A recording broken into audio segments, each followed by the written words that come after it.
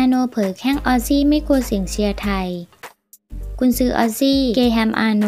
ยกนักเตะทำผลงานได้ยอดเยี่ยม สามารถรวมพลังเก็บชัยชนะเหนือทีมชาติไทยได้สำเร็จ แม้จะเป็นฝ่ายทำสกอร์ตามหลัง แถมชมเปาะลูกทีมไม่กลัวเสียงเชียร์เจ้าภาพ มุ่งมั่นเล่นเกมของตัวเอง จนสามารถเก็บชัยชนะได้ในที่สุด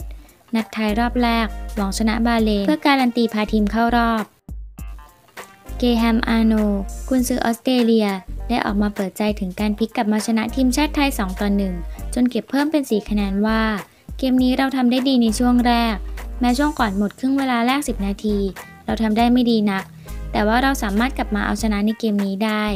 ผมต้องการให้นักเตะครองบอลมากขึ้น จนสามารถทำได้ดี ซึ่งผมขอชื่นชมว่าผู้เล่นทั้งหมดของ 2 ทีมมีความแข็งแกร่ง และเราสามารถทำได้ดีกว่าเดิมในครึ่งหลัง นอกจากนี้ผู้สื่อข่าวถามว่า เกมแรกที่เสมอมากับอิรัก1ต่อ1 ก่อนมาชนะทีมชาติไทย2ต่อ1 เป็นเพราะแท็กติกหรือไม่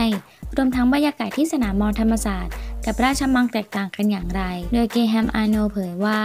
โชคดีที่ AFC ให้แต่ละทีมพัก 2 วันทำให้นักเตะฟื้นฟูร่างกายกลับมา ผู้เล่นได้ทำงานอย่างหนักมากขึ้น เพื่อสร้างผลงานให้ดีขึ้นในนัดที่ 2 ซึ่งต้องชื่นชมกองเชียร์ไทย ที่คอยสนับสนุนทีมของตัวเองเป็นอย่างดี แต่ผมบอกกับลูกทีมว่า จะต้องหนักแน่นในเกม ไม่ต้องกลัวเสียงเชียร์ของเจ้าบ้านพร้อมกันนี้เขอยังแสดงความเชื่อมั่นในจิตใจของลูกทีมที่หนักแน่น และยืนหยัดในเกมนี้ จนสามารถเอาชนะได้ และยังหวังที่จะเก็บชัยชนะในการเจอกับบาเลน ในวันที่ 14 มกราคมนี้ เพื่อการันตีในการเข้ารอบต่อไป